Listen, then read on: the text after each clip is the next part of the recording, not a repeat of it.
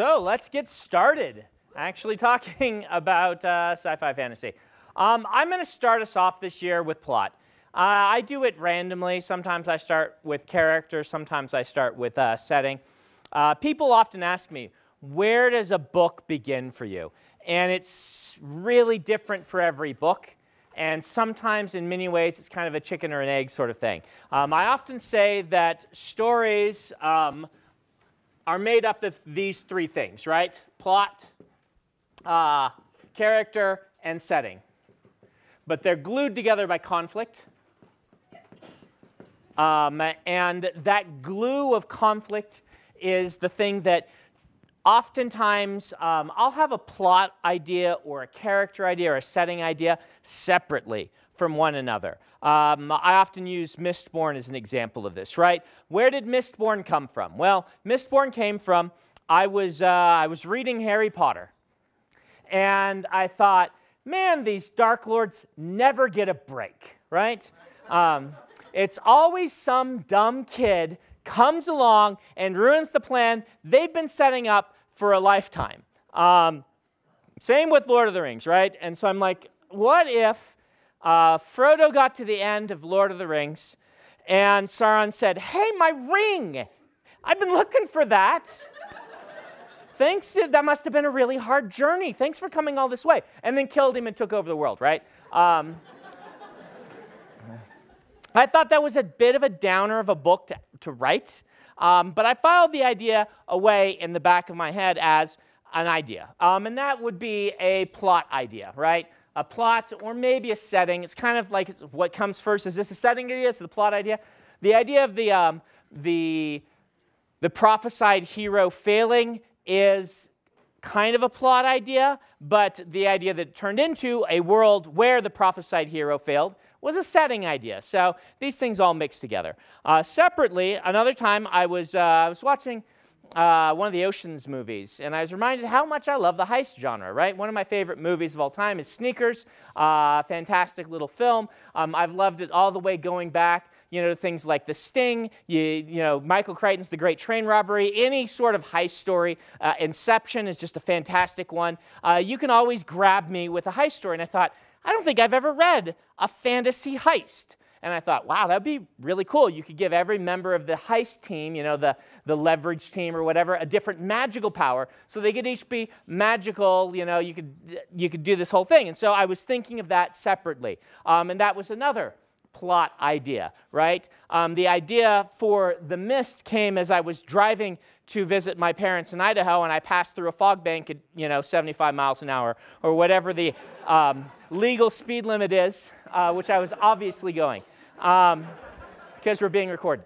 Uh, I passed through. I'm like, this visually looks really interesting, hitting a fog bank and going into it. Um, and I equated that in my head with a visit to the um, to the uh, National Cathedral in D.C., uh, which I'd seen at night. Um, and normally I'd been inside of cathedrals and see the stained glass windows from inside with the light coming in from outside. But this time they had them lit from the inside at night, shining out. And I love that visual image. Um, and so those became two setting details, right? This idea of the mist, of the fog, of this kind of almost living mist, and this, this visualization of cathedrals in the mist shining out um, light. Um, and those ideas kind of combined together with this character I was developing of Kelsier, um, all separate. Feruchemy was designed separately from Mist, uh, from Allomancy. If you haven't read the books, there are three magic systems. Two of them were designed for separate stories, and when I combined them, I liked them better. And then I designed the third one in my plotting uh, and kind of world building sessions. So for me, I write down all these ideas. Uh, they just go in my notebook um, or in my, my file on my computer that's uh, called Working Ideas right now. Um, and it's just big lists of ideas. And a book grows out of multiples of these ideas combining together. And when I have something that feels like the seed of a novel that's working, I'll often go back to my book and say, Are there any other ideas in here that mesh really well with these ideas? What I'm, I have to describe like ideas are like these little um, atoms bouncing around. And like when they mash into each other, they create some cool reaction, become something new. It's not how actual science works, but you know, it, will work for the fantasy author. Um, and suddenly you've got this thing growing of all these, uh, um, of all these different atoms coming together and making some cool new thing that is that is somehow more than the sum of its parts, more exciting at least. Uh, that's the story for me. And then I go and I kind of plug in things. I'm like, what else have I been thinking about that might work for this story? And I plug those in. And then I build those all in an outline that I'll talk about during our second plotting session, kind of how I build my outlines. Um, but at that point, um, I'll find holes and I'll just start plugging things in, even that I, you know, I'll start brainstorming. I'll start saying, I, I know I need another idea here. Let's put it together. Uh, most of the time, a book is not one idea. This is where uh, newer authors sometimes have problems. They, they pick one really good idea and they try to write a book on it. You can write a short story on one idea pretty well. A book generally needs a mashing together of multiple ideas. Um, it doesn't mean you have to have been, you know, struck magically by the idea fairy um, and have this, this, this brilliant idea that, you know, uh, that, that couldn't ever be reproduced. That's, that's not how ideas work, right? Uh, you just need different hooks and things to make you excited and to get the audience excited. Ideas are actually cheap. Um, what my favorite story about ideas being cheap comes from Jim Butcher. Uh, I've confirmed this with him, uh, so I know it actually happened, but I heard it third hand uh, originally. The story goes that during his days unpublished, Jim Butcher, who's now famous for writing the Dresden Files among uh, many other wonderful novels, um, Jim was on a forum of aspiring writers, and they had, he got in an argument with someone who said, Some ideas are just so grand and so great, that's what makes a writer. Um, and Jim was making the argument, this is the same one that I often make, which is ideas do not, not make the um, author, authors make the ideas work. And if you um, give bad ideas to a good writer, you will generally get a really great book. If you give good ideas to someone unpracticed, it's still going to fall apart. Um, and so Jim and this other person got in an argument online, and finally uh, Jim said, Give me your two worst or at least most incongruous ideas, and I'm going to write a really good book using them. They said, All right, I want you to take the Lost Roman Legion and mash it together with Pokemon. um, right? Um, and Jim wrote an entire epic series called Codex Alera, which is basically uh, Lost Roman Legion gets Pokemon uh, on a fantasy world, right? Uh, it's a great series. I recommend it. Um, it's an epic fantasy. It's really cool. And it's actually very distinctive because some of, of those ideas um, are very distinct ideas. But the skill of a writer is what readers and editors are looking for.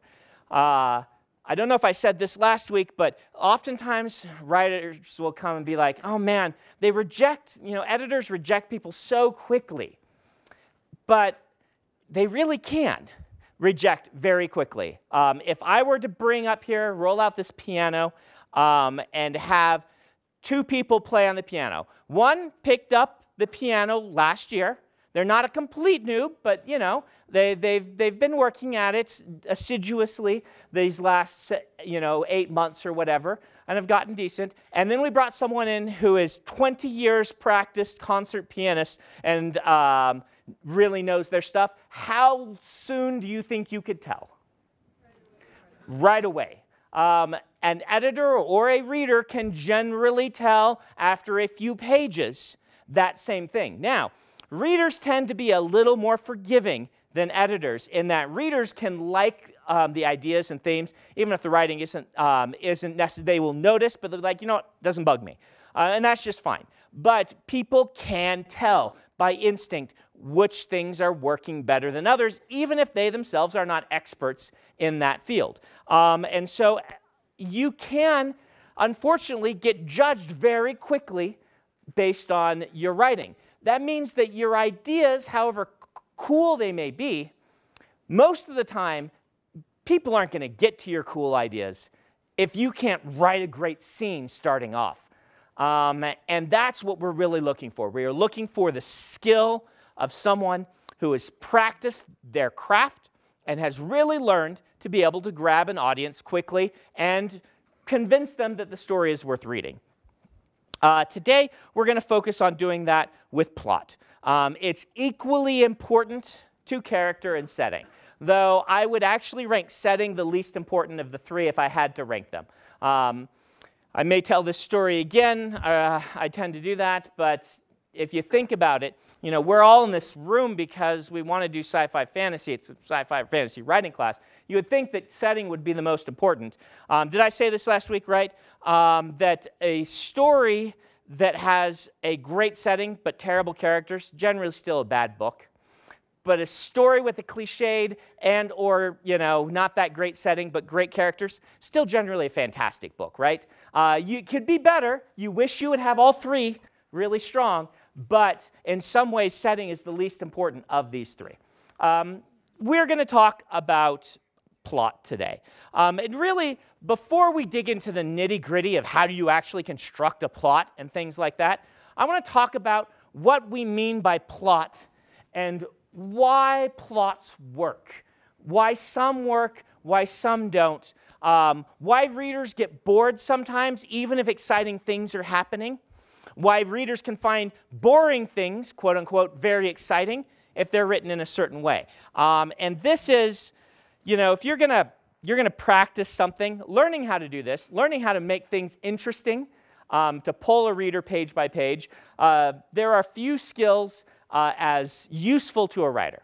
Um, I think the most important one, at least for a fantasy science fiction writer, is the ability to convey information in an interesting way, kind of this whole avoiding info dumps, instead using characterization for info dumps. But number two would be the ability to understand what your promise, progress, and payoff is when it comes to constructing a story. Um, promise, progress, payoff. Now, we're just going to go down these three, and I'm going to talk at you for a while. Uh, and we will start with promises. Stories all make a promise. In fact, they usually make several at the beginning of the story. And being in control of your promises and what you're making is a sign of mastery of the art. Simply writing your story and seeing where it goes is fine. But either during revision or during planning or during outlining, you should be asking yourself, how am I making the correct promises? And there are several types of promises you're going to make. One is what we call a tone promise, right? Um, a tone promise is where your uh, introductory chapter's job is in part to indicate the tone and style of story that you're going to be telling, right? If you're going to have a wacky comedy, don't start your story with someone dying really tragically and really making us weep, right? Uh, that's hard to do in a prologue, but you can. Like, don't start with the prologue to Eye of the World if your story is going to be a wacky comedy, right?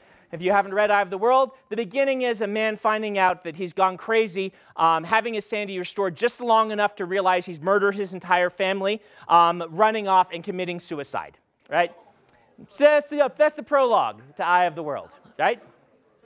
Um, yeah, he creates a mountain as he commits suicide, so, uh, so that's cool. Um, uh, but if the next chapter, were the wacky hijinks of a talking donkey and his friend the ogre, then you would justifiably say this tone promise was inaccurately presented. Um, now, those, that's an extreme example, but this is something that I notice a lot of writers don't necessarily have fluency over and control over, is what kind of promises you're making at the start of your stories. Um, this is why it, Hollywood does this too. Um, but this is why the cold open is so popular. Uh, the cold open is where you join a character in the middle of an adventure that is a microcosm for the adventure that the entire story is going to be. The classic example of this is Indiana Jones um, and the Raiders of the Lost Ark, right? If you haven't seen that movie, shame on you. Um, if you haven't seen that movie, it starts off with this fun uh, but very kind of solemn romp about Indiana Jones, um, kind of, you know, going into the jungle, trying to get this idol, being betrayed, and failing, right? That is your setup. Your setup to Indiana Jones's character is he's awesome, but he's kind of an everyday guy in some ways because no matter how hard he tries, he just ends up failing at the end anyway. And that is kind of your introduction. What is the story going to be about? Adventure It's going to be about kind of someone who has an everyman characteristic that is really, really cool, but you can pretend that it's a normal person who's probably going to get kicked around a lot, dropped into, you know, uh, vats of snakes, and at the end, and the end, maybe win, maybe not. Um, that's what the cold open is there to do for you. But your promise is, Indiana Jones tries really hard. You are going to have a good time, and this is going to be awesome. Um, they're setting a tone promise for you with the opening to that story. One of the reasons why the prologue is so popular in fantasy, to the point that it's almost a cliche, right, is because a lot of fantasy writers realize having a kid start off on a farm at the beginning of their story doesn't convey the right promise of action and adventure. So they start with something that has a lot of action and adventure um, and then move to kid on the farm. Now, um, I'd like to point out this is not the only way to make a kid on the farm uh, have this sort of tonal promise. But you'll, you'll notice that Star Wars, does it start with Luke on the farm? No. It starts with a shot of a small ship and a large ship shooting at it, and then a firefight, um, a, a, spunky princess, and goofy droids, right? You get all, your cold open tells you everything, um, and then it cuts to Luke, and you get the last piece where he's like looking at the binary sunset, and the Force theme plays, and then you've got basically your whole story, right? This is, this is the tone, like the tone promises. Uh, I visited Pixar once, and they have something really cool um, that they showed me which is they will try to set the tone of their movies by the color palettes that are used for given scenes. And they actually have up on their wall, they have like, um, like a one or you know, several pixel wide sliver of color that is the average color for a given, uh, a given shot, a given uh, uh, second of, uh, of screen. Um, and then they just put them all together, and you can watch the colors change it's really cool with WALL-E, right? Gray, gray, gray, gray, brown, black, black, blue, bright blue, bright blue, green, right? Um, and it's just a, it's a cool way that they tried to set the tone of their stories just by using the color palette. You can't do that, but you can set the tone of your story with the words you use um, and the type of scene you use to introduce your story. I will warn you that the epic fantasy prologue has become a little bit of a cliche, and so you have to work a little harder than you might once have had to do in this because people are used to the story of action hero beginning, gets some information that's important, dies passing it on to someone, cut to kid on a farm, right? um, right. Um, and or you know young prince or princess who is uh, inexperienced um, and think you know wants to go out and see the world or something. Uh, that that those beats are very well played. Now anything done really well stops being a cliche. Um, the cliched part is when it, it stops having the impact on your audience and if you can do it in a way that still has the impact you want on your audience it's not a cliche anymore right? The reason cliches are bad is because they have been taken and removed from their original intent to the point that people no longer get the original intent from the words. Um, they instead bring all the baggage that the cliche has, um, and it just feels lukewarm to them. But anyway, so promise. Number one thing you're going to want to look to in your promise is your tone, right? Um, Another thing you're going to want to look to in your, your early promises is you're going to want to promise us, if possible, your character arc. Um, you don't have to promise what the arc is going to be, but you do want to promise the thing missing in a character's life that they cannot have and the obstacles that lead to them being unable to have it, right? You want to show us your character's desires and what's, what's preventing them. Now, sometimes you do this in a reverse way. Sometimes you show us what we know the character should want and show the character not wanting that. That's also very common. Um, this is the, the Bilbo at the start of The Hobbit sort of thing, right? Where we all want Bilbo to go on an adventure, we know from the way the writing is written that he goes on an adventure. He thinks he doesn't want to go on an adventure. We're going to then cheer for him to go on this adventure as he comes to realize he wants to go on an adventure. Uh, the best part of the Peter Jackson Hobbit adaptations is that sequence in the movies. Um, I will just leave that one thing there. um, um, but that part of the Hobbit movies was done brilliantly. Um, and, and really even took what was in the books and took them a step forward. That realization uh, that, uh, that Bilbo wants to go on this adventure.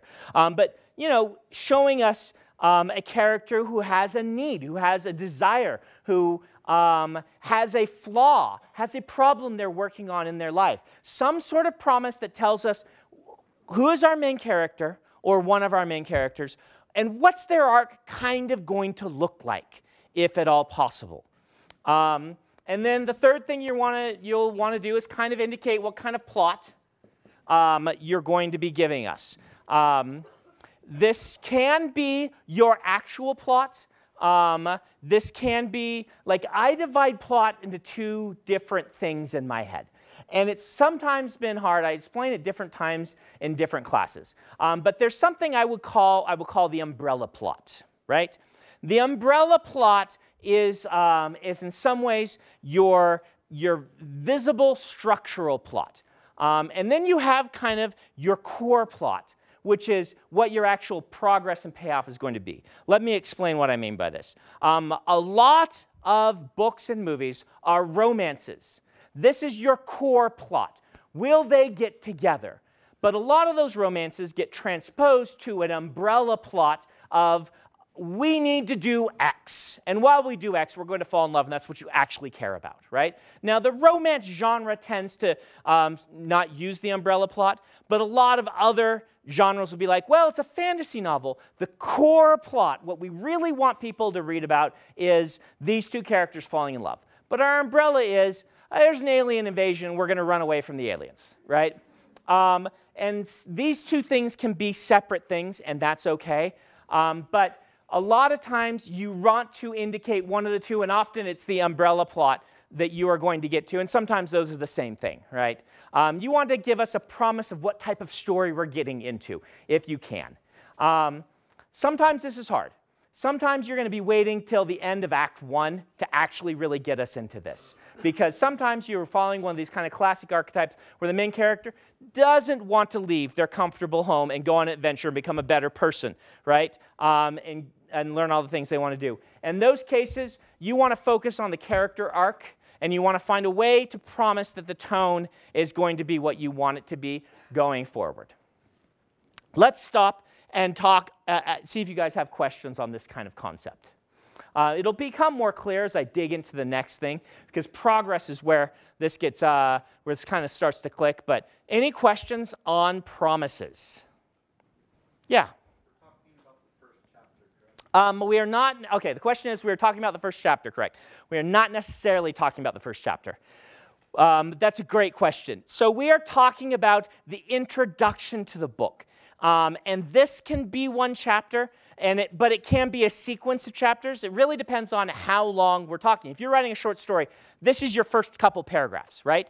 If you're writing a, a massive epic fantasy, really, we don't get all of these things, tone, arc, and plot, in Stormlight Archive until um, really chapter 11, right? Um, right? And that includes two prologues that aren't in there, so chapter 13, right? Um, if you have, if you if, if you've read Stormlight Archive, where I'd say we get all of this connecting together, um, where we finally finished all this part, is when Kaladin makes the decision to save Bridge Four. Right? Um, it turns back from the uh, thing. There are earlier promises of what this is going to be, and I use the tone promises, but this whole part is kind of finished then. Yeah.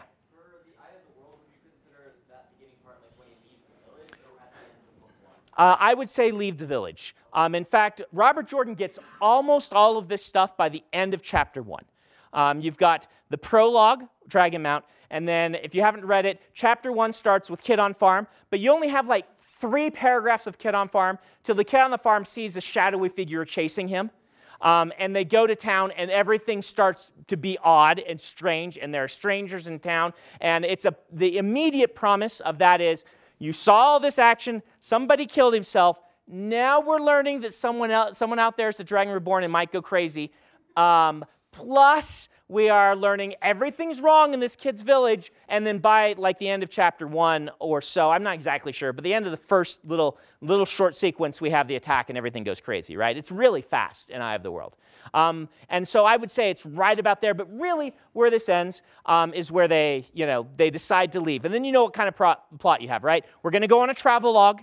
We know what our arc is going to be, right? Um, we've got this whole kind of promise that our characters are small town people who thought they wanted big adventure, and big adventure is way more dangerous and scary than they think. Um, and that's kind of kind of be their arc. And we have our tone promise of Dragon Mount followed by village, everything's creepy, something's wrong.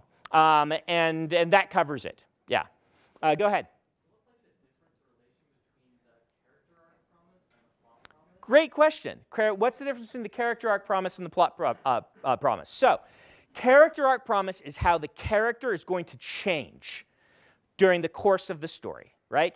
Um, and your promise for the character arc is a promise that they're going to change, or at least their situation is going to change and give them what they want. Um, I kind of intertwine these two. If you look at Luke, part of the promise is he's going to be able to go up into the stars, right? But part of that promise that we don't quite get there until we get to Obi Wan saying, You must learn the ways of the Force, right? That's the final end of you're going to have to stop being this person and become one of these people who can fight in this big war that we saw the starship starting. Um, but those, those are character promises. Your plot promise, and that is the empire is evil. We need to get these plans to the, uh, the people who can then defeat them. And that's your plot. Your plot is get the plans to uh, to the rebels. Um, and then you have a twist. We'll talk about twists. Um, you have a twist in that actually we were going to go destroy the Death Star, uh, total, right? Um, and that's, that's, that's a twist ending. It doesn't sound like one because we've all seen Star Wars, right? But it's actually kind of one of the forms of twist is, um, that I'll talk about later. So, do you see the difference between character and, uh, and plot? Yeah, um, story arc, I would say.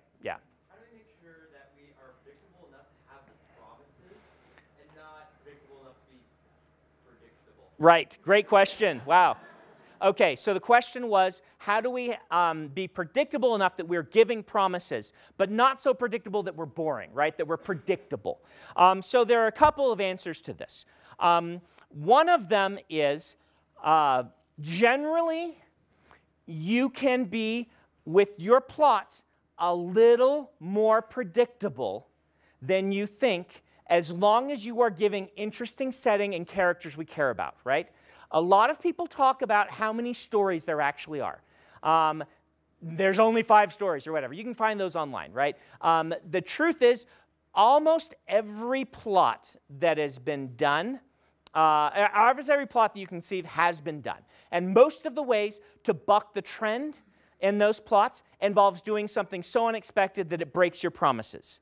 Now, that can become a feature of your story, but most of the time, you want to do subtle inversions of, the, of the, the promises. For instance, you give the promise. Um, I remember reading um, Eye of the World, which this shouldn't have been a big inversion. It just shouldn't have, but it was when the Gandalf character was a woman. And I'm like, oh, I haven't seen that before. I've read a ton of these fantasy novels, and there's always Gandalf or there's uh, there's Allanon, or there's Belgarath, or there's, there's always the wise wizard. And when the wise wizard shows up and it's a woman who you don't trust, then that's a different. I'm like, I know what role this person is fulfilling, but they're doing it in a different way. I am intrigued. Why don't I trust her? Should I trust her? Should this is this Gandalf? Is this not actually Gandalf? Um, and again, that shouldn't have been a big inversion. It should have been like it, it, it shouldn't have taken until that book to to have um, you know a character who is not a white dude uh, be you know the the Gandalf character, but it was for me as a 15 year old reading it. Um, and you can do subtle inversions uh, or subtle plays on this quite a bit um, to not be so expected. And it comes down to, you know, if you have a mastery over the form. If you, if you say, okay, we're going to do, um, you know, Mistborn is a heist. I promise you very early on, Mistborn is a heist. It has all the classic characteristics of heist. But the fact that most people had not read a heist where everyone has a different magical talent was new.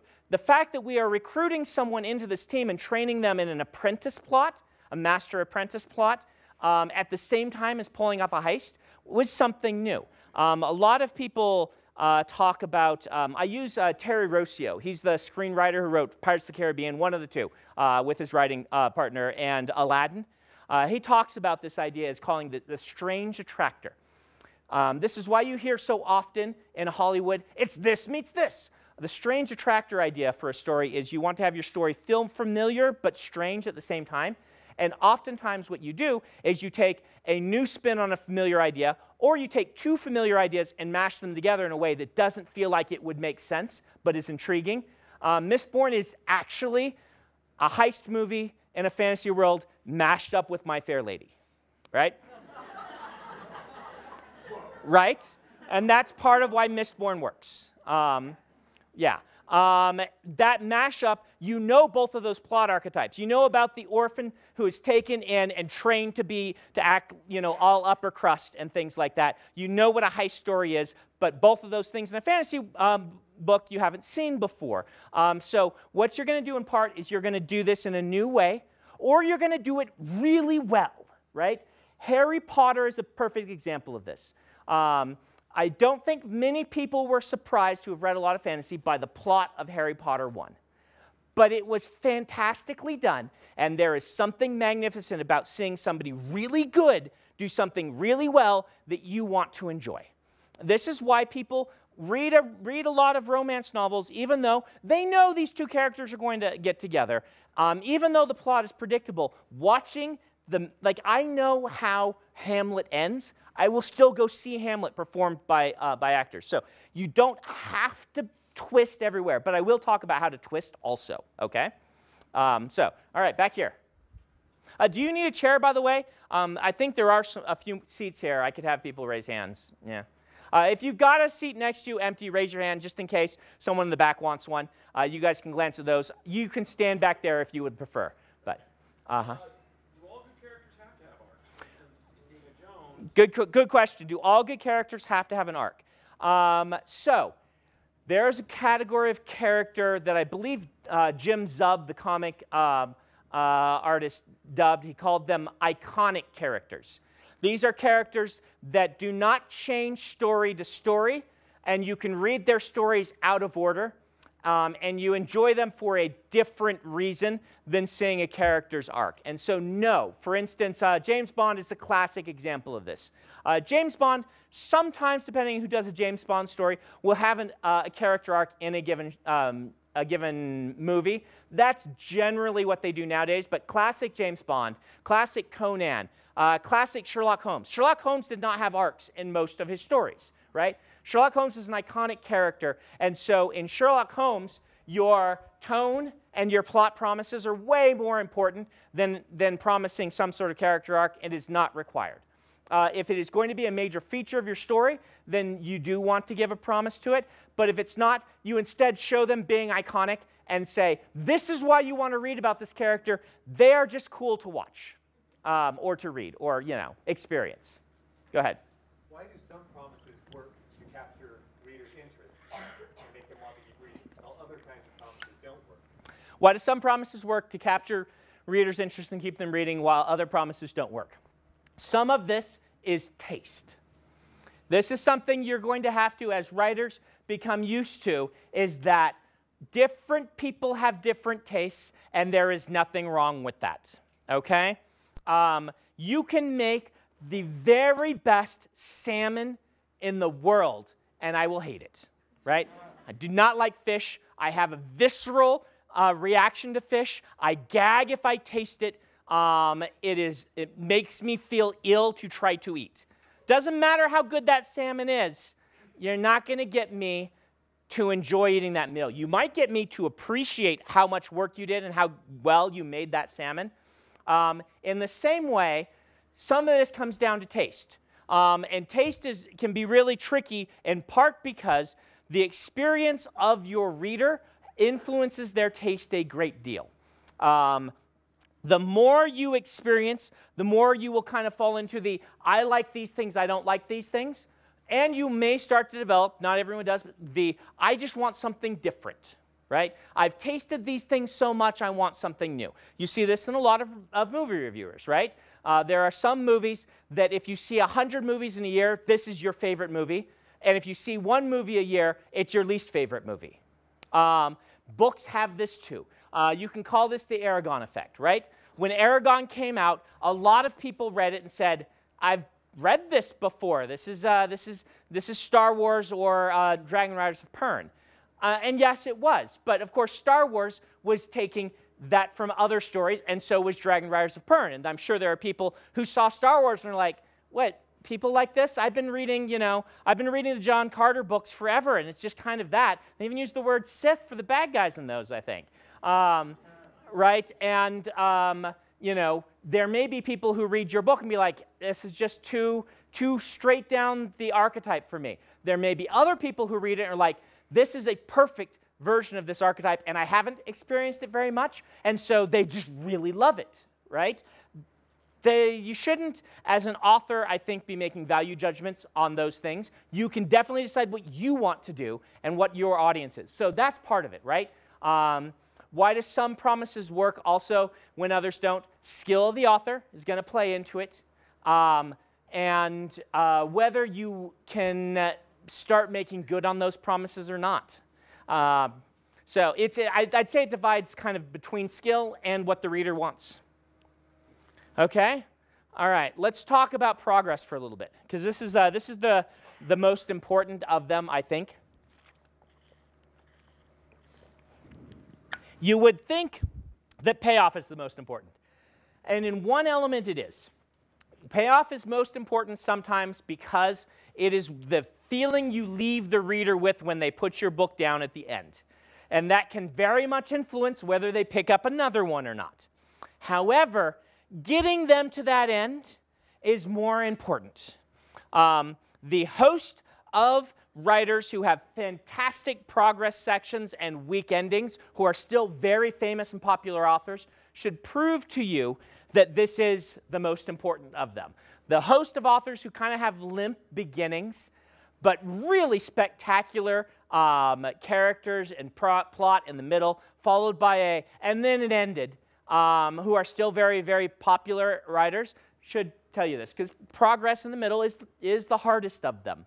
Um, and it's where some of the great writers uh, excel. Stephen King is uh, kind of the quintessential example of this. So, what do I mean by progress? So, we're going to go over here for progress. So,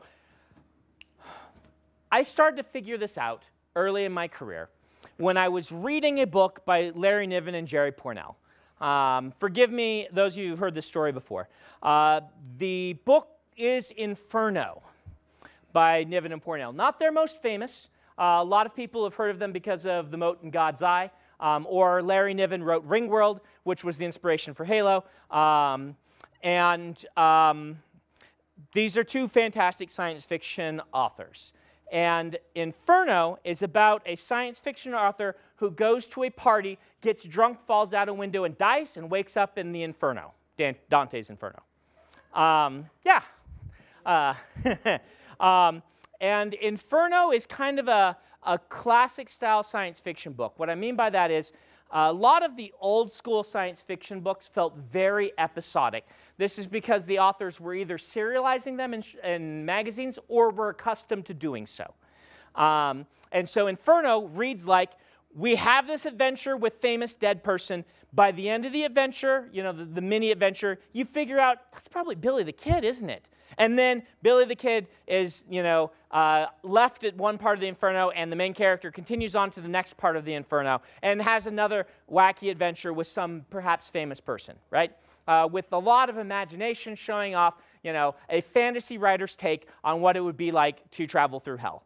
And uh, I was reading this book, and I was compelled page by page. And normally I'm not in these episodic stories. Uh, I can still enjoy them, but usually I finish a story and I'm like, ah, I'm done. But each time I had to turn the page and keep moving. And I asked myself, why do I feel like I'm reading a thriller? Right? Thrillers are a genre that specializes on always making you turn the next page. When I'm reading this kind of goofy adventure in hell uh, that's very episodic. and I realized one thing had made the difference. There was a map at the front of the book. now, we laugh at this because I, I may have maybe a thing for maps. it's possible that you may have noticed that there are a lot of maps in some of my books. Uh, uh, and so you're like, of course you noticed the map, Brandon. Um, but this was not an epic fantasy story. Um, but it had, you know, Dante's Inferno uh, as a circle where he started out here at the end and was moving toward the center. And the question of what's at the center of hell and can he get out was so compelling that I had to read each next adventure because I could watch as he moved steadily inward. This is a really powerful sensation in readers. And it is part of what draws people to books and why they read. Every book has this by virtue of the pages in the book that the reader is watching count toward an endpoint as they go. Even if they aren't watching the actual numbers, watching themselves get through the book. There is a natural time bomb to reading a book. And that's progress that you, as the reader, being able to sense that you are progressing through a story is fundamental and vital to making stories page turners. When you say page turner, most people's mind will go to something like a thriller where something is always exploding, someone is always chasing you, and things like that. But you can write a page turner about anything. Um, does not have to have a single fight in it. No one has to be running anywhere. The page turner mentality is about you indicating to your reader that progress is happening and giving them a sense that it is building towards something that they want to see. This is a sense of progress. It is an illusion of progress because you have absolute control over this. If you wanted to, you could pass a thousand years in one sentence. And a thousand years passed. Uh, I would guess that most of you in this room, if I gave you the challenge saying you have to write 20 pages on the, the time between the second hand moving from one second to the next, you could do it. Be boring, probably, but you could do it. Just describing everything in the room and making everything slow down um, and sticking in this moment, adding three flashbacks, um, right? You could, if you needed to, fill the whole book with one and one, make it take one second. Uh, you have absolute control over this. One of the big complaints that people who don't read a lot of fantasy or science fiction make about it is the complaint of, oh, they can just make anything happen, so there is no tension. This is in one way true, but it's a much larger uh, problem in scope than they think because you can do that in any genre, right? If you are writing a romance, you can say, and he got over himself and they got together, right? Takes one sentence right? And he got over himself. Uh, and they found a whole bunch of money that her uncle left them that they didn't know. Suddenly they could pay off the house, and you know the the evil uh, whatever person who was uh, loan sharking them and stuff. And the the fact that they no longer had that tension made their relationship problems go away, and they lived happily ever after. Right? Um, you can do this in any story. We'll talk about how to not do this when we talk about Sanderson's first law. But progress is absolutely 100% in your control. And because of that, you want to create an illusion for the reader that a steady progress toward an inevitable and exciting goal is happening in your story. And you usually want to do this by identifying what your, um, what your plot is going to be, what your actual story arc, not necessarily just your umbrella, um, oftentimes, like I said, your story arc and your umbrella plot are the same, but you want to know, you want to ask yourself, why are people turning the page? What question do they need answered? Now, there can be multiples. The bigger your book, the longer your story, the more of these you will generally have. But there will be a few uh, overriding ones. And you usually, at least I do, um, you, you make this happen by identifying kind of what type of plot you are doing. We'll talk about those in a little bit. Uh, we did an entire year in writing, on writing excuses about these, so if you need more, well, go see, listen to season 11, is it? Uh, Elemental Genres is what it's called. Um, that's uh, uh, all the writing excuses, people humoring me um, as we go through kind of Brandon's uh, philosophy on plotting. Um, so just for sake of discussion, we will, I will use um, Star Wars. Let's use Star Wars as an example, right? So in Star Wars, we have kind of um, an umbrella plot of destroy empire, which you don't really realize is the whole umbrella plot. You think it is relegated to get the plans, to the people, right? Um, you have, so that's, there's your, there, there's your umbrella plot, right? Yeah, rescue the princess um, is on there. Um, th- that's all kind of, yeah, get the plans to people, rescue princess. Uh, help me, Obi-Wan Kenobi, you're my only hope. Um, right? Your character arc, your main character arc is Luke becomes a Jedi. Or really, Luke trusts the Force.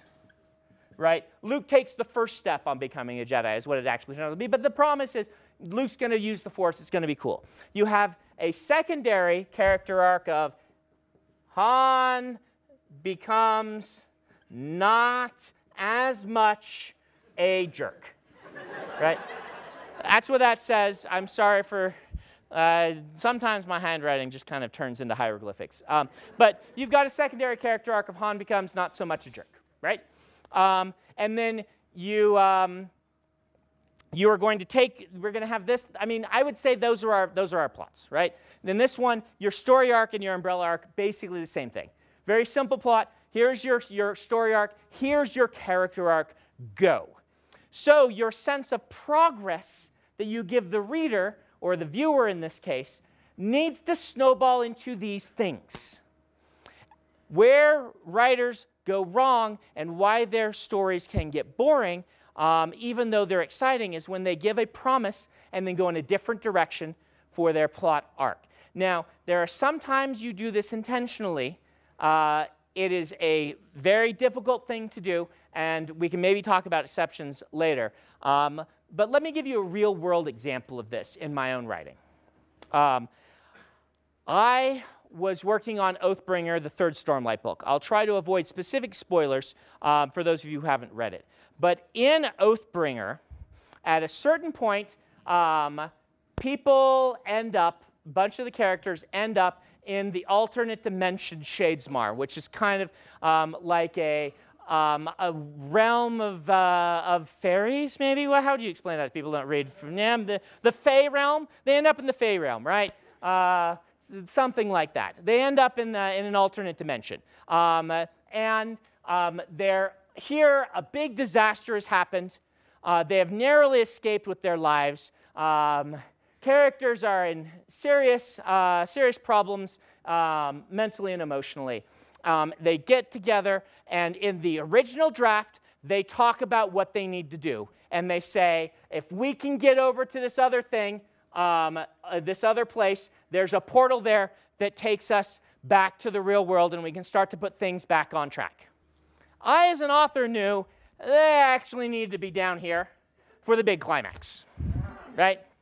Uh, and so, as they went on their way, they got diverted. They're like, well, we have to go here to get to this place that'll get a ship. And then, nope, it's going, oh no, we ended up here, right? For the big climax. Who would have thunk? Um, that we end up where all the other characters are going. Um, I was really looking forward to writing this sequence. Going to Shadesmar was something I had been promising in the books since the first one. Um, I knew it was going to be very visually interesting. It was going to have some really interesting plot things. Some of the things the characters were going through were fascinating uh, to me, at least as a writer. And I wrote the sequence, and during beta reads, it came back as everyone's least favorite sequence. They all thought it was boring. I'm like, really? that's a like you but but it's not boring um, why, why do you all think it's boring um, And I realized that I had violated this. You do it all the time as a writer. Um, and this was a mini promise within a story. But when I got them together and said, we are going to have a mini travel log in the middle of our story, it's a plot archetype. See this place over here? We're going to go there. And then we went down here. And everyone's in the back of their mind, even if they couldn't articulate, was thinking, okay, but this has to be the diversion.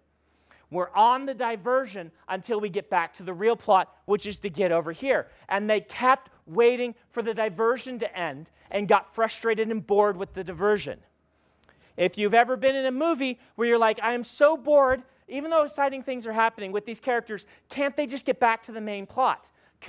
Canto Bight. Um, it's because we weren't sold on the progress toward what we wanted to have happen we were had too many different promises that we were more interested in and or we were going the wrong direction about having it, ha- having it happen right? And so i revised the story so that up here in this sort of prom- this discussion soon after it they have a thing where they all get together and say where are we going? And all the characters are like we need to go over here except Kaladin who is our primary viewpoint character, saying, I have had a vision, and if we don't go here, um, somebody very important to us dies. And they're like, uh, dude, you're, you may be a little off your rocker. Um, but sold the reader on the idea that this was the real goal and we need to get there. So when we got diverted, everyone who was reading knew, I knew we were supposed to go there originally. And suddenly the promise became different, and the Gamma readers loved the sequence, right?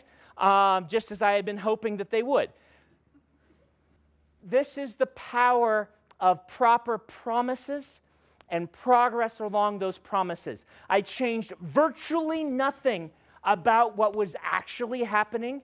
I changed the promise and the tone at the beginning. Instead of we need to escape, it turned into we need to save this person, which means that's we need to get there. Slightly different tone, slightly different locational goal on our travel log, and suddenly uh, all the readers were on board. Now, I say all the readers, it's totally possible that some of the people watching this or listening are like, I still hated that part, Brandon. That's okay, right? We talked about taste earlier. Um, what I get really worried about when I write a, um, when I have beta reads is if a large group of readers that I thought were going to enjoy something find it boring instead. That's a problem. Uh, happened again in Starsight, actually, where I had to do major revisions on Starsight because my promises up front were were very poorly done in the original draft, and I could not figure out why until I had had beta reads and talked it over from the editors. This is not an obvious thing sometimes. You would think after 25 years of doing this, hmm, um, I would know intrinsically how to just make a good promise at the beginning. But there are two cases in my two most recent books. Now, Star, uh, Skyward in the middle, and it didn't have one of these. But you know, two of my three most recent books where I fundamentally misjudged a promise or a progress I was making. And in both cases, the, the solution was to change the promise, not the progress. That was because I'd already written the book, and I didn't want to write another one, right?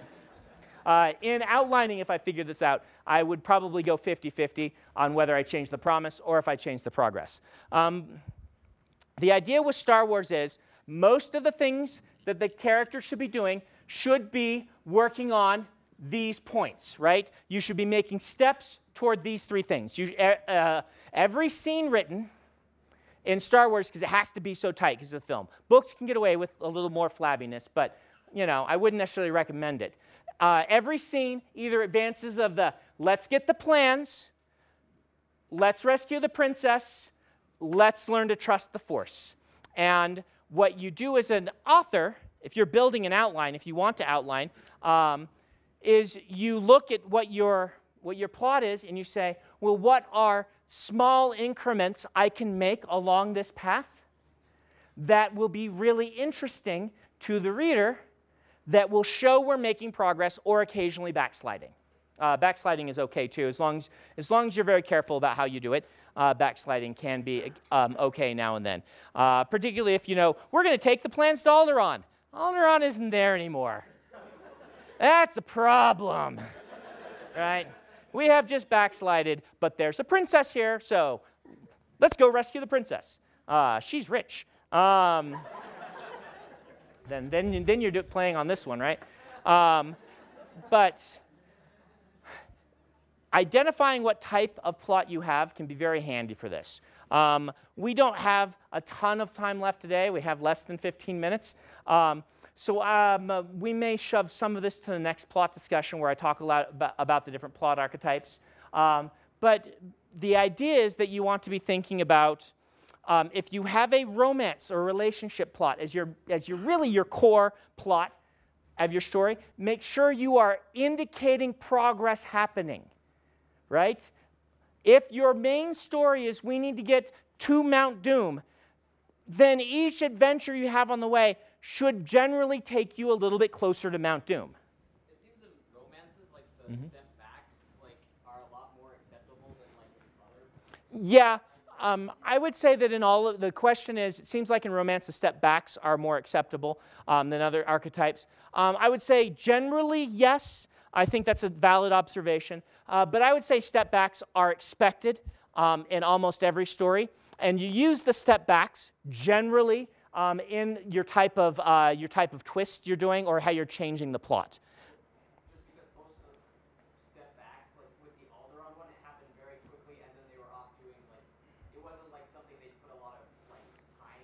Just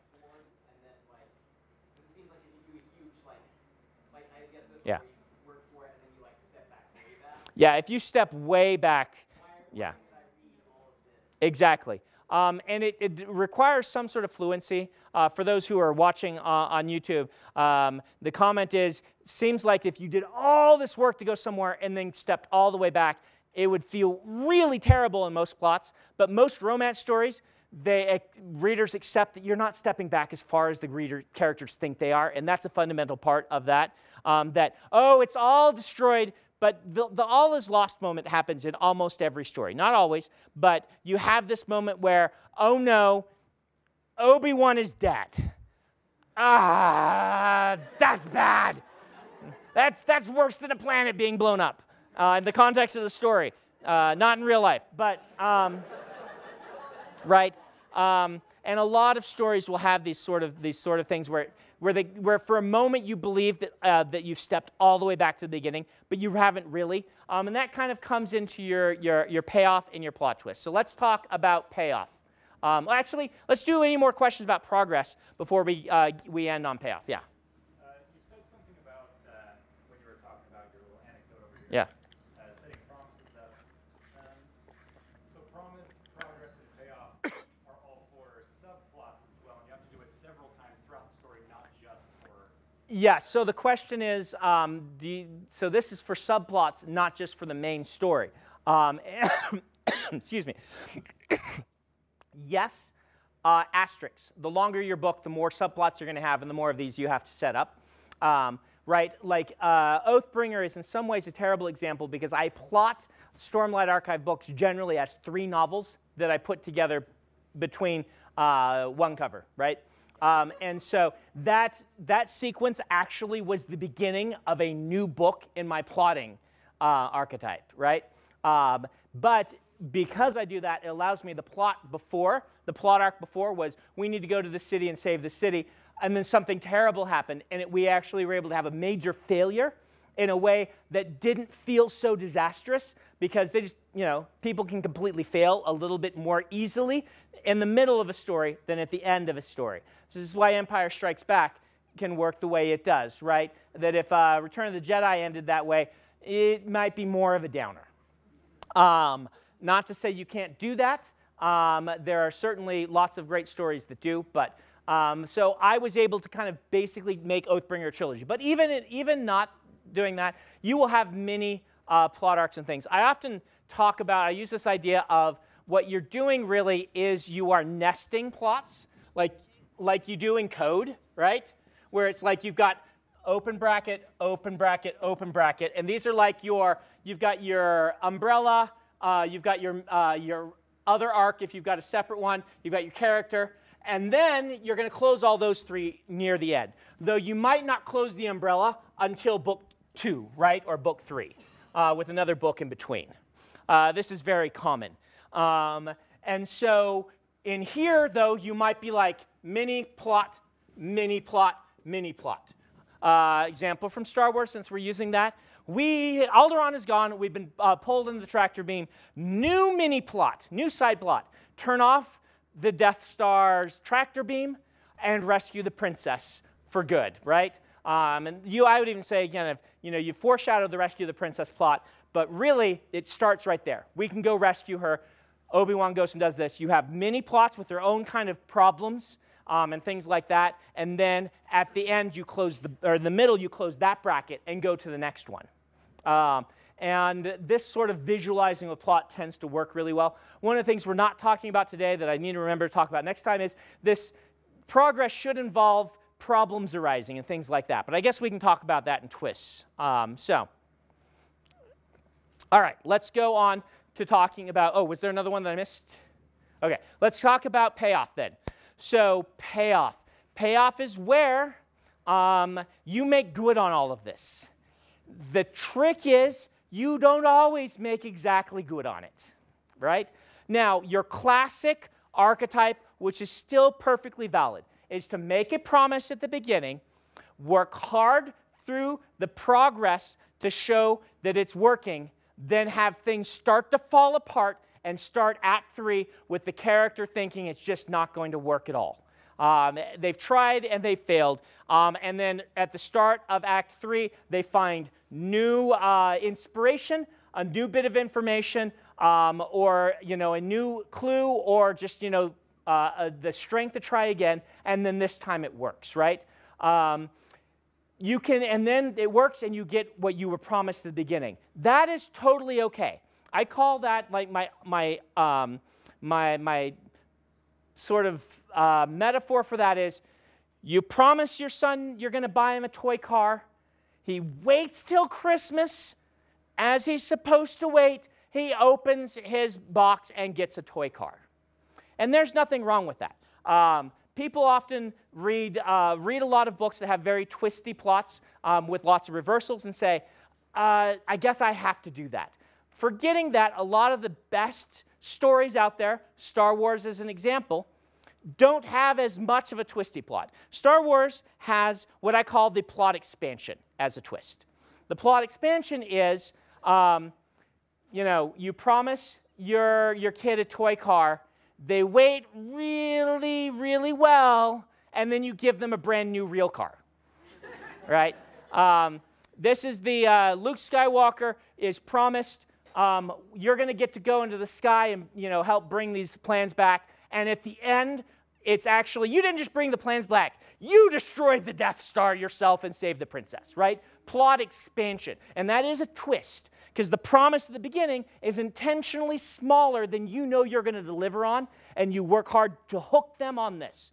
Uh, this is, uh, this is the, the twist I use for Mistborn. Surprise, sorry guys, but the twist uh, for one of the big twists for Mistborn is your promise is you're going to get a heist. And as you experience the story, as our progress goes through, you see how terrible life is for people here, and you start to think, man, I do want these cool thieves to pull off their heist, but the thing is, if they just enrich themselves and run, they're going to leave behind all these other people, and I actually want something more. I kind of wish this was Star Wars and they were going to overthrow the Empire. Holy crap, they overthrew the Empire, right? um, like, uh, and I was able to do that in part because people don't ex- people read that book and expect, ah, book three they fight the Empire, book one they pull off the heist, right? That's that was the model for for epic fantasy in a way. And so by doing the expansion twist, where it's like, nope, we're going to do it all in one book. You give the reader more than they expected. Uh, very rarely do you run into tr- trouble when you're doing a, uh, a plot twist when you give the reader more than they expected. You can run into problems when you give them the substitute. If you do it really well, it doesn't matter. In fact, they like it better. So, the substitute plot twist to envision this is you promise your son you're going to give him a toy car. You then spend several months talking about how awesome toy planes are to the point that your son says, Man, I wish I, I wish I were getting a toy plane. And then they open their box at the end and it's a toy plane. And they're like, Yay, toy plane, right? Um, the classic example, one of the best to ever do this, is while you were sleeping. If you guys haven't seen this movie, right? Uh, you are, yeah, what's that? Spoilers? Um, never seen it? It's, it's, it's okay. It's a, it's a fantastic romance story where uh, a woman sees the perfect man. She has a terrible life. She falls in love with him from afar. Um, and then he like goes into a coma and accidentally through hijinks, uh, she may, maybe says pe- to people she's his girlfriend and uh, his whole family's like he never tells us anything come and she like becomes part of the family and then she gets in deeper to where you're like oh man i wish you hadn't promised us those two would get together because the promise at the beginning is this perfect man's going to be you know her, her love interest. And you're like this is getting worse and worse. And in the meantime she falls in love with his brother who's a really cool guy and is a great match for her right? But you don't, you know, the story is, of course, she has to end up with this guy, but of course, at the end, she ends up with the toy plane instead, right? Um, she ends up with the other guy, and it is a brilliant sort of substitution plot, right? Substitution plot generally depends on you convincing the reader that you actually want something else. Um, I would argue, though, it is a really big outlier that this is what Into the Woods is. Uh, people often bring up Into the Woods and say, How do you do Into the Woods? If you haven't seen Into the Woods, starts off as a classic set of fairy tales. At the midpoint into Act Two, all these people's lives turn into disasters and like they all die. Um, and it's miserable, right? Uh, but it's fun miserable. Uh, Sondheim, everyone. Um, uh, why does this work? Well, this works when it does. A lot of people hate it. Let's just point this out. Substitution plots can be dangerous this way. A lot of people hate it. A lot of people like it because during the beginning, there's like this sense that everything's too perfect. Everything's just not, you know, it's too perfect. Plus, it's Sondheim. When does someone get killed and be baked into a pie? Um, and then you're like, yes, everyone's getting killed and baked into pies um, for the second half. Uh, but Into the Woods is a really strange example. Uh, we're out of time on this, um, but let me just end by saying your payoff should flow naturally from the type of progress you're doing, with the asterisk of if you're going to do a substitution or change the plot a little bit, you do want to consider doing that.